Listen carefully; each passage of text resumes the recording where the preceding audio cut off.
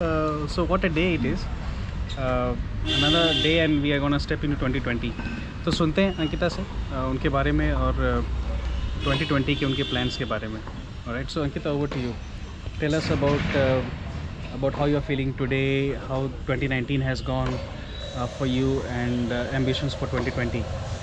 Uh, definitely 2019 was uh, one of my good great years I can say because I played all the Grand Slams um, and I had two uh, great wins against top uh, players who have been uh, former Grand Slam champions and finalists.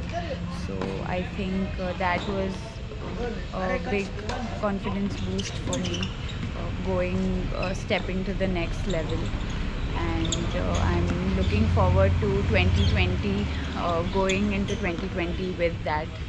And uh, i'm excited and i'm hoping that uh, i can now uh, take a step ahead and move into the main draw of the slams